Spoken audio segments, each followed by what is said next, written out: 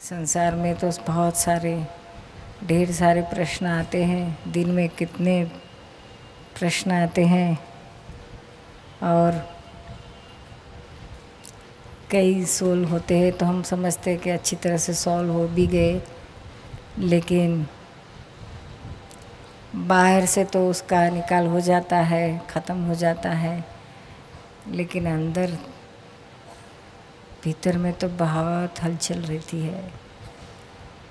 मन में समाधान नहीं रहता है। ऐसा मेरे ही साथ क्यों? यह प्रश्न हमेशा रहता ही है। या तो इसमें मेरी क्या गलती, मेरा क्या कसूर? हमेशा हमारी बुद्धि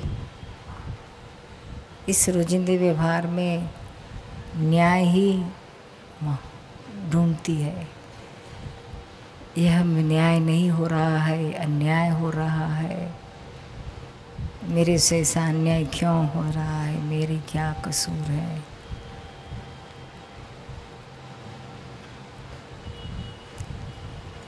यह न्याय और अन्याय जीवन में,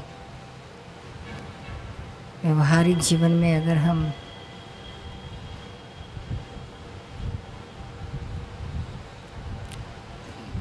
प्राप्त करना चाहेंगे। न्याय आपको कभी मिला ऐसा लगा ही, लगेगा ही नहीं। आपको हमेशा ऐसा ही लगता रहेगा कि मेरे साथ अन्याय ही हो रहा है। घरेलू घरेलू संबंधों में भी ऐसा ही लगता है। पति पत्नी के बीच के संबंधों में माँ बाप और बच्चों के बीच के संबंध में, या सास और बहुओं के संबंध में हमेशा बहू को ऐसा लगता है कि मेरे साथ सब अन्याय कर रहे हैं। सास को लगता है कि बहू, बेटे मिलकर मेरे साथ अन्याय कर रहे हैं। बच्चों को ऐसा लगता है कि हमारे माता पिता हमारे साथ अन्याय कर रहे हैं। माता पिता को लगता है कि बच्चे हमारे साथ, बहुएँ हमारे साथ अन्याय कर रही हैं। किसी को ऐसा नहीं लग रहा है कि मेरे साथ न्याय हो रहा है। ऐसे कितने लोग हैं कि जिनको लगता है कि मेरे जीवन में सब, जो भी कुछ हुआ है, जो हो रहा है, जो हो चुका है, सो न्याय ही है। अन्याय है ही नहीं। ऐसा किसको लगता है? कितने को लगता है? शायद अच्छा हुआ, हमारे जीवन में खुश खुशहाली हो गई। तो हम खुश हो जाते हैं, लेकिन ऐसा तो सोचते नहीं कि जो भी हुआ हो न्याय ही है। अन्याय नहीं है। कुछ बुरा हुआ, हमारे मर्ज़ी से खिलाफ हो गया, दुख हुआ, ऐसा हुआ। तो तो बेशक हमें ऐसा ही लगता है कि यह जो कुछ हो रहा है हमारे साथ, यह सब अन्याय ही है। और हमेशा अन्याय के सामने संघर्ष चलते ही रहता है। उसको जीतने के लिए हम मन से तो युद्ध करते ही रहते हैं, लेकिन कभी उसका न्याय नहीं होता है।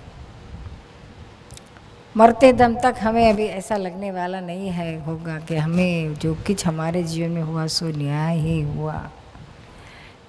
उसकी वजह यह है कि हम हमारे बारे में, खुद के बारे में ऐसा ही सोचते हैं कि हम जो कुछ करते हैं, वो सब सच्चा ही करते हैं।